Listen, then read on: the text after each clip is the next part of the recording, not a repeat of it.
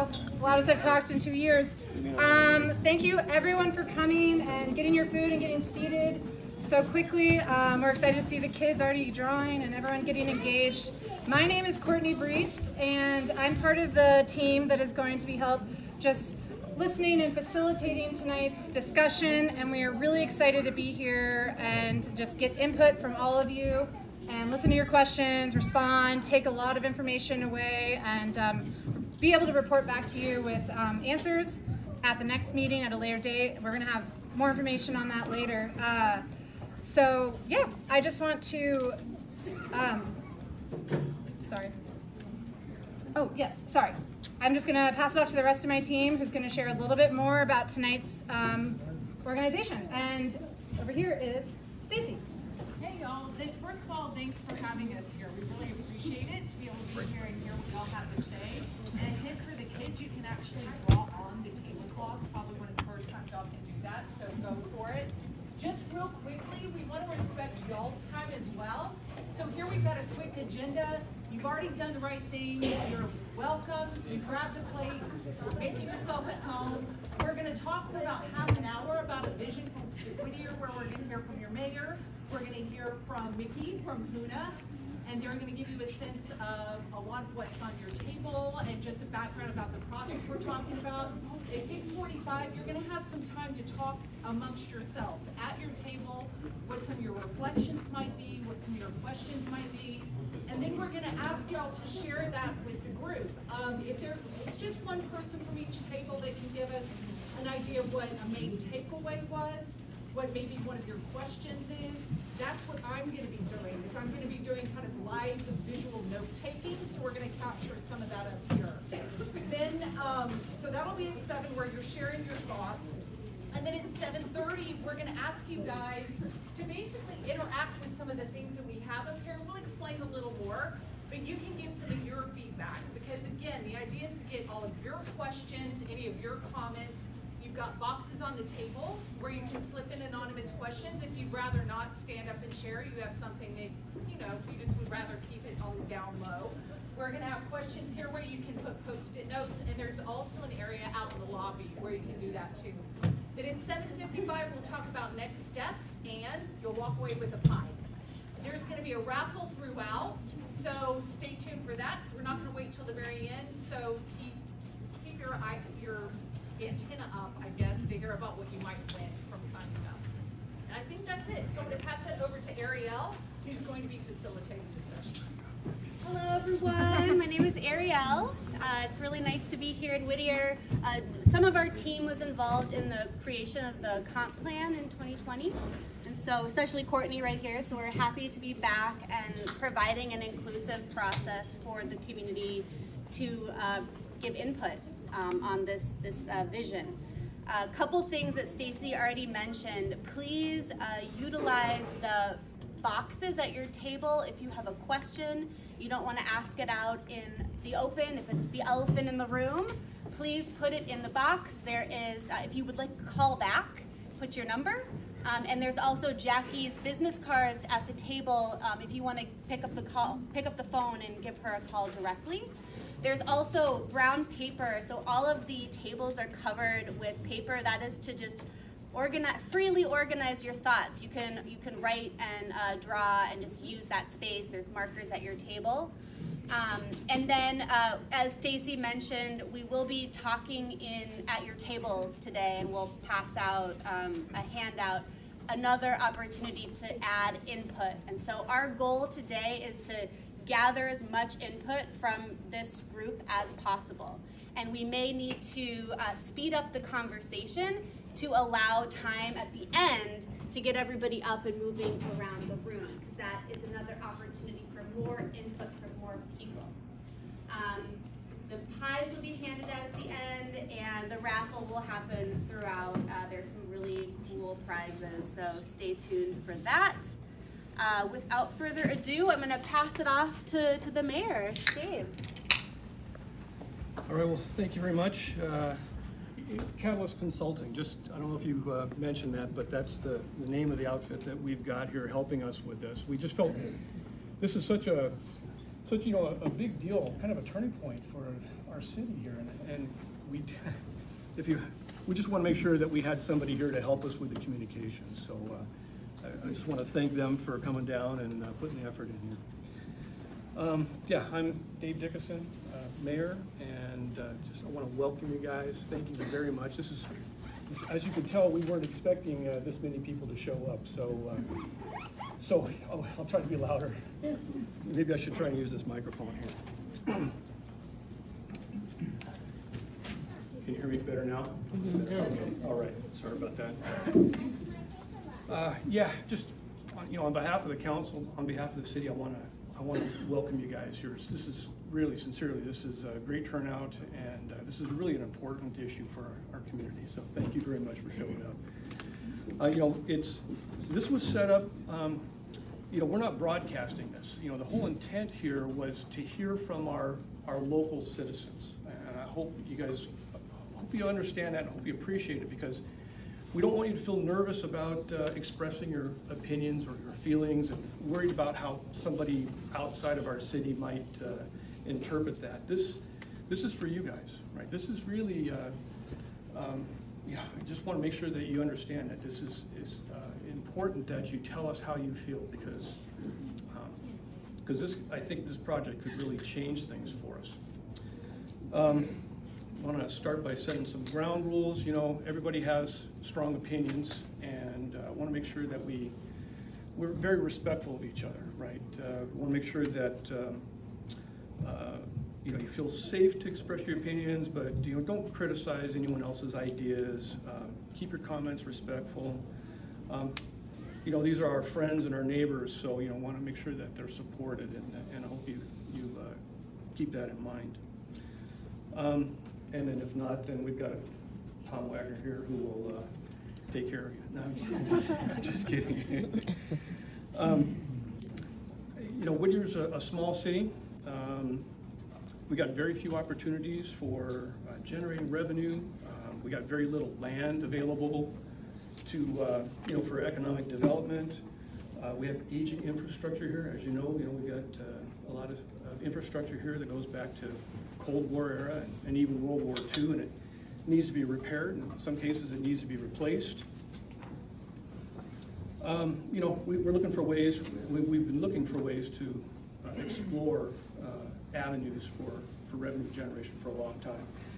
Um, You know, as a matter of fact, um, the the fifty-eight acres that we're talking about down at the head of the bay, it- we've been working on that for thirty years, for over thirty years. You know, we've recognized that we need to do something. And, and we've decided, we voted on this before, that uh, we needed to do something up there at the head of the bay. Um, We just, uh, we just closed on that deal, by the way, uh, in September, right? So this is all kind of coming together. Um, You know, Some people say there's no such thing as coincidences, but uh, it- it- it's really cool the way the timing has worked out on this. Um, The city's also talked about developing a small boat harbor up there at the head of the bay for a long time. You know, we've even got a grant that we're, we're working on with the federal government to build a, a small boat harbor, a breakwater, which would then develop into a small boat harbor up there. Um, and we've been working on that for a long time. I think, uh, you know, I think, uh, that, that started back in about two thousand and seven, if I remember correctly. Does that sound about right, Dave? About two thousand seven or so? Um, you know, um, there's just been a, a, a lot of work done in the past. So This is not like a new idea. I, I just don't want anybody to think that all of a sudden these guys showed up and we thought, hey, this is a great idea. Um, you know, these kind of issues have been talked about for quite a while. Um, it, you know, um, one of the things about that small harbor I want to mention is that, uh, you know, one of the things that, that happens there, of course, the, the harbor is uh, very congested. And a harbor there, one of the things that we want to try and alleviate was the congestion, and we want to be able to separate user groups so that there's people, uh, you know, that you don't have bow pickers competing with other boaters, you know, to, to, um, you know, compete for the same sort of resources. And, uh, and then the launch ramps up there at the head of the bay, you know, that's, that's, if we could do that and move some of that launching up there, that would really be a, a big benefit to it.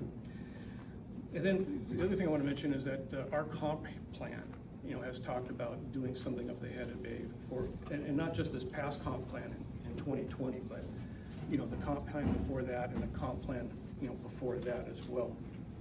So this is, these are all things that we've talked about for a long time. Uh, The, the issues that came out of this last comp plan were city beautification, um, you know, a Whittier Visitor Center, and head of the bay development, right? So it all kind of came down to infrastructure and tourism.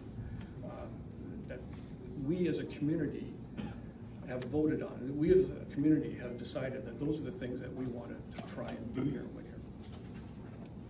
Um, you know, prior to this uh, Tank Farm property uh, transfer, um, Huna Corporation, uh, they came to us and, um, you know, they, they were interested in developing a partnership with us. They saw some of the possibilities here. Um, Huna has a- an established track record, and uh, their development at Icy Strait Point uh, in Hoonah is just outstanding. Uh, They pride themselves on honoring the culture and values of the community, and have received numerous accolades and awards for, for responsible tourism practices. Uh, And now they've provided us with a conceptual plan. I I want to make sure that everybody understands that, that this is not, you know, this is, these aren't engineered, this isn't an engineered design, this isn't a, a plan that has uh, been cast in stone by any means. You know, this is, it's a conceptual plan that they brought to us because they've looked at our comprehensive plan and they felt like, you know, they have some ideas that they could bring to us and develop that would match our comprehensive plan. So this is their interpretation of that. Um, You know, tonight, we're just asking you to, to take that all in mind and, uh, and, you know, express your concerns because this is a big change. But, uh, but also consider the possibilities here, the way that, uh, that this project could help us both socially and economically.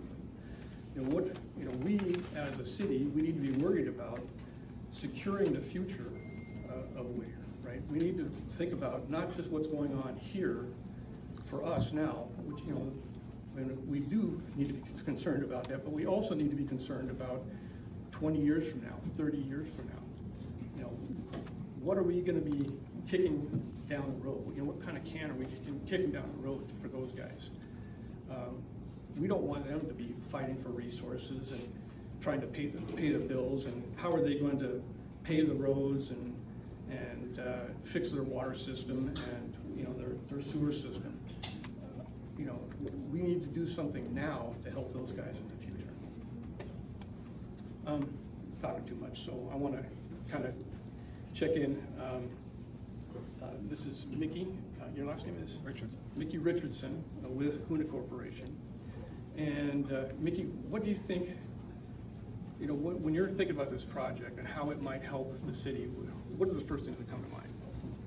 Oh, man, that's a big one. Um, well, First of all, Mr. Mayor, thanks for having us, and uh, it's, it's awesome to see the turnout here tonight as well. Um, You know, when we think about uh, our, our city, and we watched the economic turn from starting with the fisheries dying out, and then the timber industry that also died out, we were looking for something that was sustainable for our, for our community.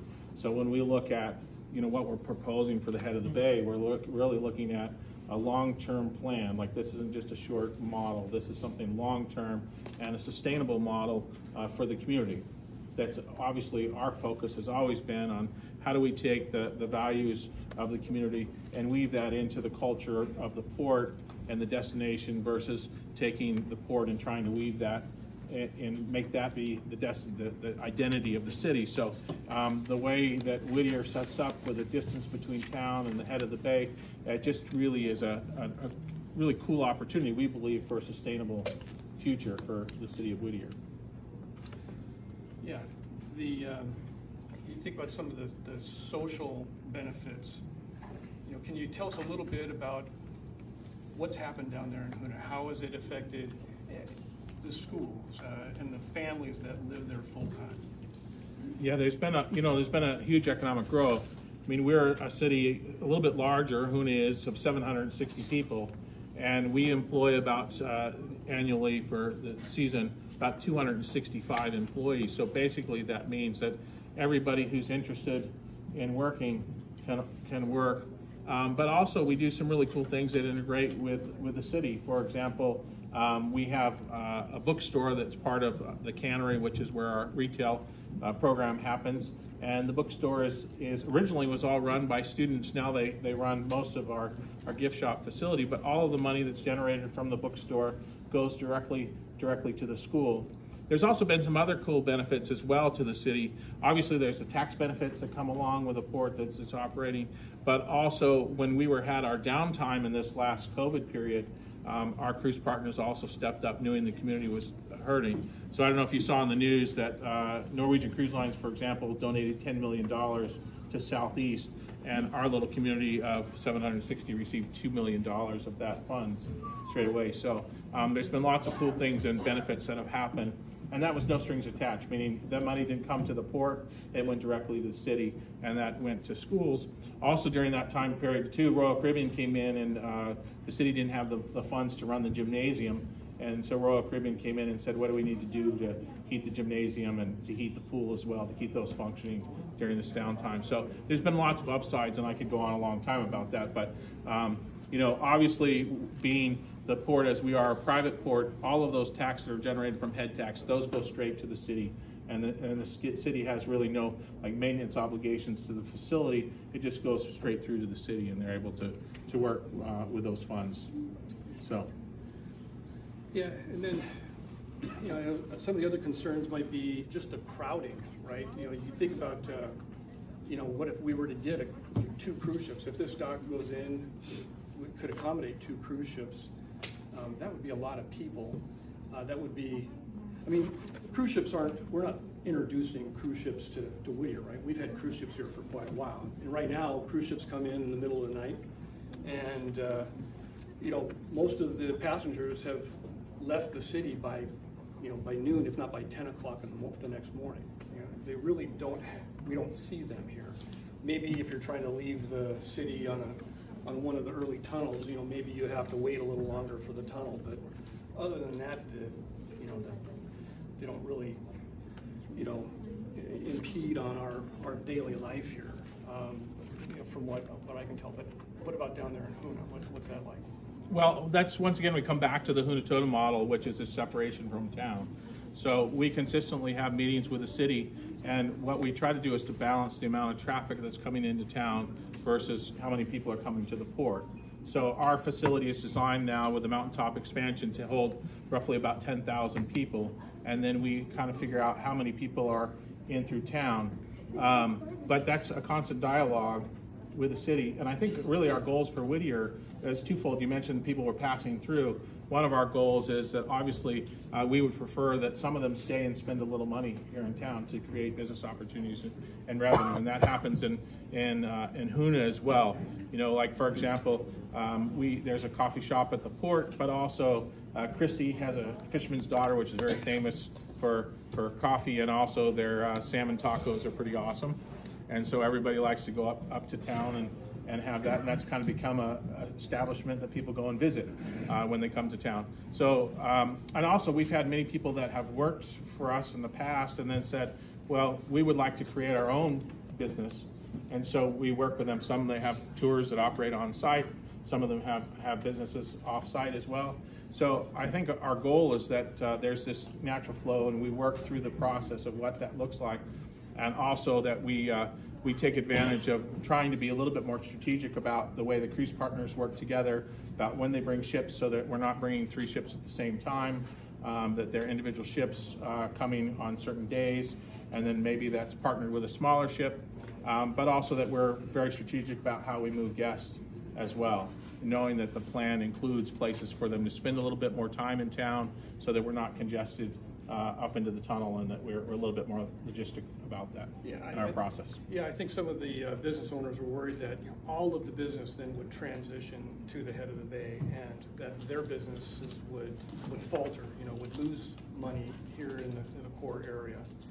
And that's not what you're seeing down there. No, in fact, uh, if you look at the transportation route, one of the things we put in the plan was a, a trolley system. We try to incorporate the elements that make up the, the history and the spirit of Whittier and having a trolley system that would connect from the port, that would come into town, to, that would bring guests into town, but also have a space that is there with the boardwalk, and I'll talk more about that in a minute, that's really defined for people um, from Whittier to develop their own businesses, right?